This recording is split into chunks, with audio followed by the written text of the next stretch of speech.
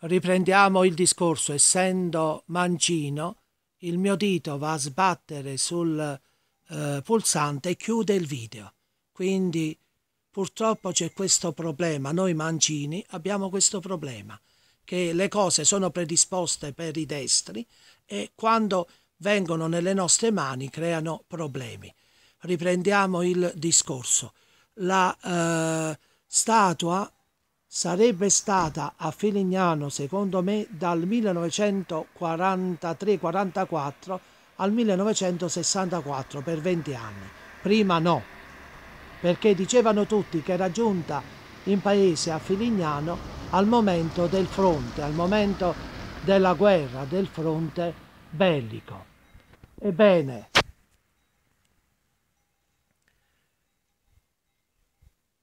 questo santuario di acqua fondata è poco conosciuto. Si parlava della statua, ma non si diceva più di tanto.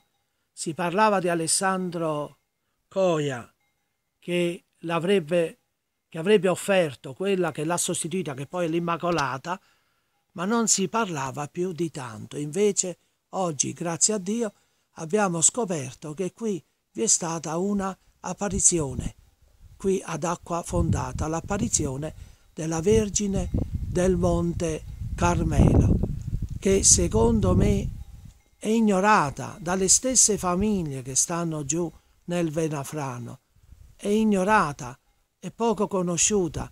No, di questo culto non se ne parla affatto, non ne ho mai sentito parlare abbiamo tante edicole nel, nell'Alto Volturno dedicate alla Madonna del Carmine, ma non c'è connessione con questo santuario, altrimenti il 16 di luglio se ne sarebbe parlato. Il 16 di luglio di questa visione se ne sarebbe parlato e ci sarebbe stato il pellegrinaggio qui, in questa chiesa come avviene per esempio a Forli del Sannio, a Cerro Volturno per la Madonna della Val Lisbona. Invece qui, accanto a questi paesi limitrofi, nulla di tutto ciò. È da premettere che Filignano Selvone sono diocesi di Venafro, come lo furono appunto Acquafondata, Viticuso e Casal Cassinese. Cerasuolo e Pantano invece erano diocesi di Monte Cassino, ma queste due diocesi si sono all'epoca, nel, nel passato, si sono sempre intersecate, queste diocesi di Monte Cassino e Isernia Venafro, con San Vincenzo a Volturno. Tutto l'Alto Volturno era di Monte Cassino, poi è passato in quel 1977 con eh, Isernia. Ebbene, Acqua Fondata è stata diocesi di Venafro fino al 1977.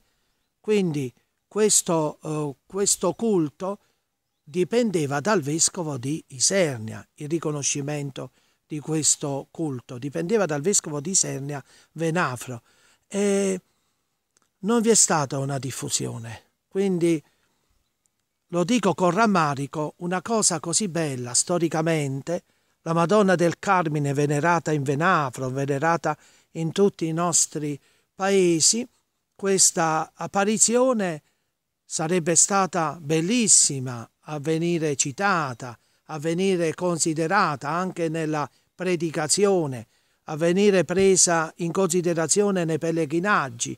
Nulla di tutto ciò. Sono trent'anni che sto in questo estremo lembo della diocesi di Isernia Venafro tra Filignano e Rocca Ravindola e non ho mai appreso di questa, non ho mai saputo nulla di questa apparizione. Grazie a Dio oggi 11 di ottobre 2017 l'ho appresa e la divulgherò quale padre parroco, quale padre predicatore, la divulgherò fra la nostra gente.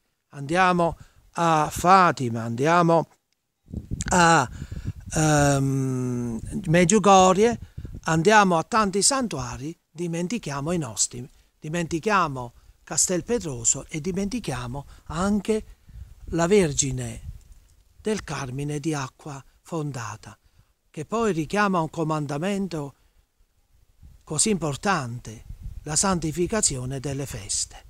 Giù a Rocca Ravindola, a riguardo, c'è l'altro aneddoto, quella dell'Aia di Capriati, giorno di Sant'Anna, mil, il giorno di Sant'Anna, l'anno imprecisato, non si sa nell'anno nel secolo, eh, dei pellegrini si recavano in chiesa, dei pellegrini, dei cristiani, dei devoti si eh, recavano in chiesa per la festa di Sant'Anna il 26 luglio e dissero ad un uomo che stava trebbiando sull'aia con la sua famiglia perché non vieni in chiesa? Perché trebbi oggi? Oggi è Sant'Anna. E lui, blasfemo, iniziò a dire all'asino, al cavallo, agli animali che aveva per trebbiare, avanti Sant'Anna, avanti Sant'Anna.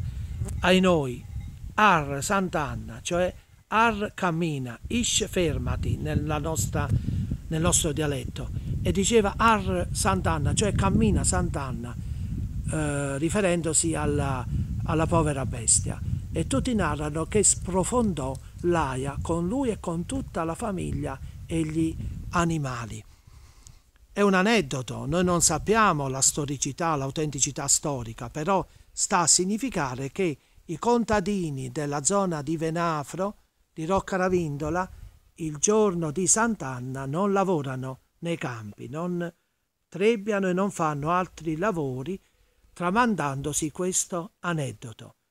Invece l'aneddoto qui di acqua fondata, pur essendo ai confini, pur essendo un tempo la stessa diocesi, quindi avendo avuto lo stesso vescovo, la stessa curia diocesana, di questo fatto di, dell'apparizione di acqua, fontana, di acqua fondata eh, nella nostra eh, terra, nelle nostre parrocchie, eh, non vi è traccia, non se ne parla in alcun modo e questo ci dispiace.